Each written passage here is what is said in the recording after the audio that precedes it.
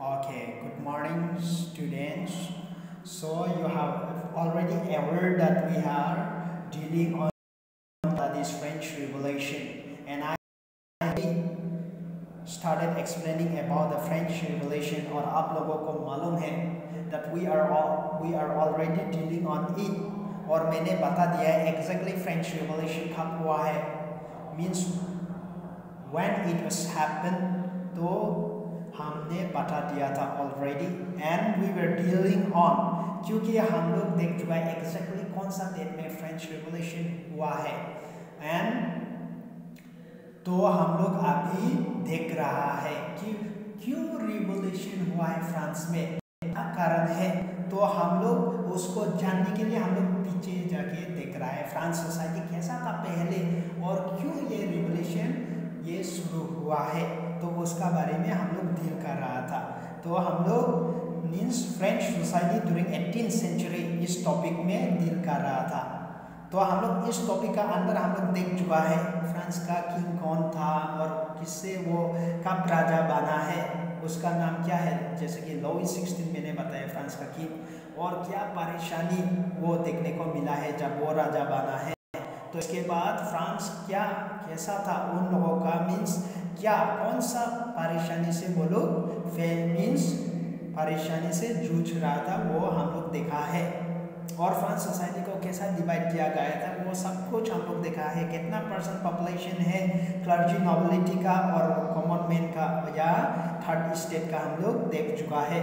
और ये प्रॉब्लम सबसे फ्रांस सोसाइटी में कौन प्रॉब्लम फेस कर रहा था, हम लोग देख चुका है already that you are already aware that France society में ये कॉमन पीपल और थर्ड स्टेट का लोग बहुत परेशानी दे मीन्स फेस कर रहा था। क्योंकि उन लोगों पर बहुत बर्डन हो गया था। मीन्स उन लोगों को डबल डबल टैक्सेस देना पड़ रहा था।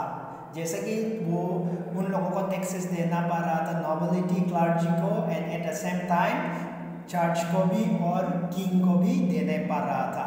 किंग को या को वो लोग डबल टैक्सेस दे रहा था। That is direct and indirect taxes तो मैंने बता दिया है direct tax and indirect taxes क्या है? और मैंने बोला already I have explain you about this तो इकोनॉमिक्स जब हम लोग डील करेंगे आप लोग पूरा कॉन्सेप्ट क्लियर हो जाएगा डायरेक्ट और इनडायरेक्ट टैक्सेस का बारे में। तो हम लोग जो आज टॉपिक डील करने वाला है that is the struggle to survive means कौन बहुत परेशानी मीन्स फेस कर रहा था मीन्स सर्वाइव करने के लिए ज़िंदा रहने के लिए। फ्रांस में उसका बारे में हम लोग देखेंगे। Let's start The population of France rose from about 23 million in 19 uh, sorry in 1715 to 28 million in 1789 तो फ्रांस का पॉपुलेशन बढ़ गया था। तो दैट मींस 1715 में 23 मिलियन पॉपुलेशन था फ्रांस का। तो 1789 में 1789 में 28 मिलियन पॉपुलेशन हो गया था फ्रांस का। दैट मींस जिस ईयर में रिवोल्यूशन हुआ है, उसी ईयर में उन लोगों का population 28 million that means that means 5 million population extra बढ़ गया था, फ्रांस का। Within the span of within the span of how many years? Within the span of around 70 something years में इतना पॉपुलेशन बढ़ गया फ्रांस का। तो पॉपुलेशन इतना बढ़ गया था, फ्रांस का 28 मिलियन हो गया था। देन ये क्या परेशानी लेके आया है? Population जब increase हुआ है, let's see. This led to a rapid increase in the demand for food grains. तो population बढ़ गया है तो food ग्रेन्स का डिमांड बहुत ज़्यादा हो गया है। और हम लोगों को जानकारी मिलेंगे कि सिंपल थ्योरी है ऐसा कि more population more problems more population more demands more population more consumption ऐसा बोल के मीन्स बोला जाता है। तो फ्रांस में पॉपुलेशन बढ़ गया है तो फ़ूड ग्रेन्स का डिमांड बहुत ज़्यादा हो गया है, क्योंकि पॉपुलेशन बढ़ गया था फ्रांस में। Then let's see production of grains could not keep pace with the demand. तो food grains food grains production है फ्रांस में। डिमांड बहुत हाई था फ़ूड ग्रेन्स का, लेकिन food grains supply means fulfil नहीं कर पाया है डिमांड के साथ। Cannot cope up with the demand demand high था, लेकिन फ़ूड ग्रेन्स का सप्लाई बहुत कम था। दैट मींस फ्रांस में फ़ूड ग्रेन्स का थोड़ा मींस शॉर्टेज था सप्लाई का। लेकिन डिमांड बहुत हाई था। तो ऐसा सिचुएशन में, ऐसा सिचुएशन में if we see in economic context ऐसा सिचुएशन में तो मीन्स जो फ़ूड ग्रेन्स है, उसका प्राइसेस बढ़ेगा तो ऐसा सिचुएशन हो रहा है फ्रांस में। लेट्स सी आगे क्या होगा। हम लोग देखेंगे, क्योंकि प्रोडक्शन मींस जो प्रोडक्शन है फ़ूड ग्रेन्स का, वो बहुत मींस फुलफिल नहीं कर सका था डिमांड के साथ। डिमांड हाई था, लेकिन फ़ूड ग्रेन्स का प्रोडक्शन सप्लाई शॉर्टेज था फ्रांस में। तो क्या परेशानी लेके आया है ये? Let's see so the prices of bread which was the staple diet of the majority rose rapidly. तो ऐसा सिचुएशन में क्योंकि फ़ूड ग्रेन्स का सप्लाई शॉर्टेज हो रहा था फ्रांस में तो ये फ़ूड ग्रेन्स ज़्यादातर फ्रांस का लोग, वो लोग ब्रेड खाता है ब्रेड क्योंकि वेस्टर्न कंट्रीज़ में वो लोग ज़्यादातर उन लोगों का जो मेन फ़ूड आइटम्स है, जो स्टेपल फ़ूड बोलता है उन लोगों का मेन फ़ूड आइटम से वो है ब्रेड तो ब्रेड उन लोगों का मेन फ़ूड आइटम से वो है ब्रेड ऐसा सिचुएशन में क्या हुआ है? ब्रेड का दाम बढ़ने लगे फ्रांस में।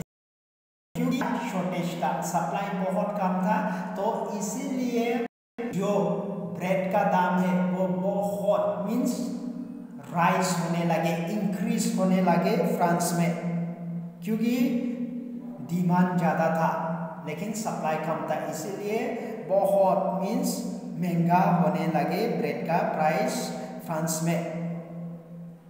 और मेजोरिटी वहाँ का डेली उन लोगों का डेली डाइट या डेली फ़ूड है वो है ब्रेड था लेकिन ब्रेड का दाम बहुत बढ़ गया था फ्रांस में। Then, most workers were employed as laborers in workshop whose owner fixed their wages. और ज़्यादातर फ्रांस का लोग ज़्यादातर वो लोग एम्प्लॉयड ज़्यादातर वो लोग काम करते थे एज ए लेबरर्स वर्कशॉप में वो लोग ज़्यादातर छोटे छोटे मीन्स जैसा कि मीन्स गैरेज में जैसा कि या छोटा मोटा क्राफ्ट इंडस्ट्री में ऐसा छोटा मोटा इंडस्ट्री में ज़्यादातर फ्रांस का पॉपुलेशन काम करता था। उन लोग, ज़्यादातर काम करता था और उन लोगों का जो वो फिक्स सैलरी दिया जाता था उन लोगों को फ्रांस में। और उन लोगों का सैलरी को जो ऑनर है, वो फिक्स वेजेस दिया जाता था वर्कर्स लोगों को। देन लेट्स सी क्या हुआ है? जब मैंने जैसे बोला है फ्रांस फ्रांस में ज़्यादातर वर्कर्स और ज़्यादातर फ्रांस का लोग एम्प्लॉयड था। ज़्यादातर वर्कशॉप में और उन लोगों का जो मंथली इनकम था, वो फिक्स उन लोगों को फिक्स मींस फिक्स अमाउंट दिया जाता था मंथली में। तो क्या परेशानी हुआ है? Let's see but wages did not keep pace with the rise in price तो क्या प्रॉब्लम हुआ है? ज़्यादातर फ्रांस का लोग मीन्स लेबरर्स था और वो लोग वर्कशॉप में काम करता था और उन लोगों का सैलरी फिक्स था। तो क्या सिचुएशन फेस करना पड़ा है? दैट मीन्स जो वो लोग वेजेस जो कमा रहा लोग, उन लोगों का वेजेस बहुत कम था। और उन लोगों को बहुत परेशानी फेस करना पड़ रहा है, क्योंकि वेजेस कम है, लेकिन वेजेस कम है, लेकिन जो कमोडिटीज है, उन चीज़ों का दाम बढ़ गया था। जैसे कि फ्रांस लोगों का, जैसे कि एग्ज़ाम्पल एग्ज़ाम्पल जैसे कि हम लोग एक नाम ले लेते हैं एग्ज़ाम्पल एक व्यक्ति का नाम ले लेता है। जैसे कि मोहन, एक व्यक्ति है मोहन, वो मीन्स गैरेज में काम काम करता है। उसका मंथली इनकम से 500 है। तो उसका मंथली इनकम 500 है मोहन का, और वो गैरेज में काम करता है। और उसका वही 500 फिक्स सैलरी है मंथली का। तो मोहन को मींस वो दिल्ली लेबरर से तो मोहन को क्या परेशानी फेस करना पड़ रहा है? दैट मींस वेजेस बहुत लो है। दैट मींस मोहन को ये परेशानी देखने पड़ रहा है कि चीज़ों का जैसा कि डेली नीड्स उसका फ़ूड ग्रेन्स या जो भी कमोडिटी से डेली नीड्स से उन चीज़ों का दाम बढ़ गया है। लेकिन मोहन का मोहन का सैलरी नहीं बढ़ा है। तो ऐसा सिचुएशन में क्या होगा? मोहन को बहुत परेशानी का सामना करना और मीन्स फेस करना पड़ेगा। क्योंकि उसका सैलरी इतना कम है और जितना भी वो डेली यूज़ करता है और डेली खाने का सामान है, जो घर में यूज़ होता है, उसका प्राइसेस बहुत बढ़ गया है। तो ऐसा सिचुएशन में मोहन को बहुत स्ट्रगल करना पड़ेगा मीन्स सरवाइव करने के लिए। तो ऐसा सिचुएशन फेस कर रहा था फ्रांस का लोग। लेबरर्स लोग ऐसा सिचुएशन मीन्स फेस कर रहा था फ्रांस में, क्योंकि उन लोगों का डेली वेजेस जो गैरेज में वर्कशॉप में काम करता है, वो सैलरी फिक्स था। लेकिन जितना भी कमोडिटीज उन लोगों का डेली नीड से, उन चीज़ों का दाम बहुत बढ़ गया था। जैसे कि means one K G of means 1 kg of bread that means four या 400 हो गया। तो उसका मंथली इनकम 500 है। से हम लोग मोहन को एग्जांपल ले लिया। तो ऐसा means one K G of bread 400 होना से वो सिर्फ़ ब्रेड खाएगा या और दूसरा कॉमोडिटीज नहीं खरीद सकता है। तो ऐसा सिचुएशन फेस करने पड़ा है फ्रांस का लोगों को। क्योंकि वेजेस नहीं बढ़ रहा था, लेकिन जो भी उन लोगों का डेली कमोडिटीज चीज़ यूज़ करता है वो पूरा भर चुका था। उन चीज़ों का दाम पूरा राइस अप हो गया था। That, so the gap between the poor and the rich widen. So हम लोगों को क्लियरली पिक्चर देखने को मिलेगा फ्रांस में। तो ऐसा सिचुएशन में फ्रांस में ऐसा हुआ है कि गैप बहुत ज़्यादा गैप हो गया था between the rich and the poor क्योंकि सब मीन्स क्लियर पिक्चर हम लोगों को देखने को मिल रहा है, क्योंकि बहुत ज़्यादा गैप हो चुका था रिच और पोर के बीच।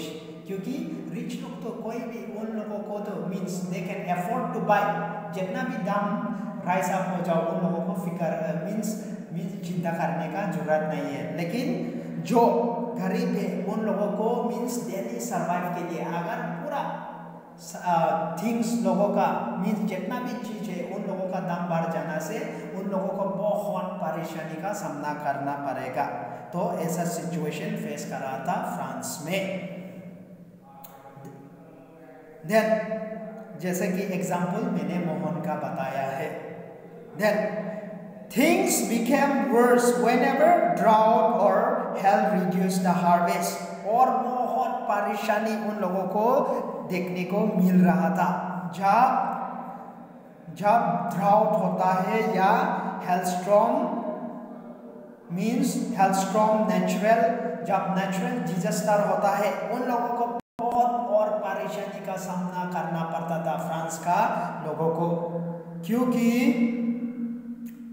हेल्थस्ट्रॉम जब हेल्थस्ट्रॉम आता है तो फ़सल को पूरा खराब कर देता है और drought drought means long period without rain तो ऐसा सिचुएशन जब आता है तो फ़सल नहीं होता है। तो ऐसा जब, ऐसा सिचुएशन आता है फ्रांस का फार्मर्स लोगों को और बहुत परेशानी का सामना करना पड़ता है उन लोगों को, जब ऐसा नेचुरल डिजास्टर आकर होता है। ऐसा क्योंकि ऑलरेडी बहुत परेशानी में वो लोग मीन्स फेस कर रहा है। तो इसमें और नेचुरल डिजास्टर आना से और डबल परेशानी उन लोगों का बढ़ जाता था। Then this lead to a subsistence crisis तो ये सारा थिंग्स उन लोगों को किस मोड़ पर ले आया है? उन लोगों को ये मोड़ पर लेके आया है कि वो लोग क्या मीन्स दैट मीन्स उन लोगों को सस्टेनेंट क्राइसिस फेस करना पड़। रहा था सस्टेनेंट क्राइसिस क्या है? Subsistence crisis means an situation where the basic means of livelihood are in danger तो सस्टेनेंट क्राइसिस ऐसा सिचुएशन है जब आपका डेली लाइवलीहुड डेंजर में हो जाता है। जो आपका डेली जो आप रोज, जो आपका डेली जो खाना खाता है या जो भी डेली आप लोग जो सरवाइव करने के लिए जो भी कमाता है, वो पूरा एक्सट्रीम सिचुएशन में आ जाता है। उसको बोलता है सस्टेनेंट क्राइसिस तो फ्रांस का लोग यही फेस कर रहा था और ये प्रॉब्लम ज़्यादातर फेस कर रहा था कॉमन पीपल क्योंकि क्लर्जी नॉबिलिटी बहुत हाई और रिच क्लास था, जैसे हम लोगों ने ऑलरेडी तो फ्रांस का लोग सस्टेनेंट क्राइसिस फेस कर रहा था।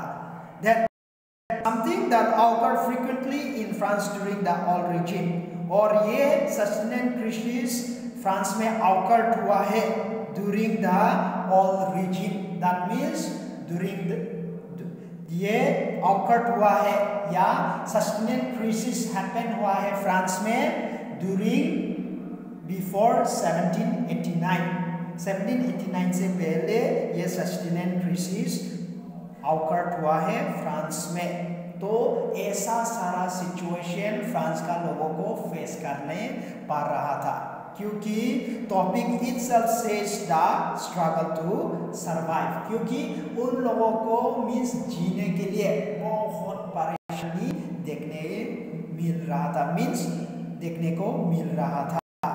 That means they were struggling a lot common people struggle कर रहा था फ्रांस में। Means means survive survive so हम लोग यही तक डिस्कस करेंगे आज। And if you have any questions, you are most welcome to ask. और हम बार बार यही रिक्वेस्ट कर रहे हैं आप लोगों को। अच्छी तरह से वीडियो को बार बार देखना है। और कोई भी प्रॉब्लम होता है then you are most welcome to ask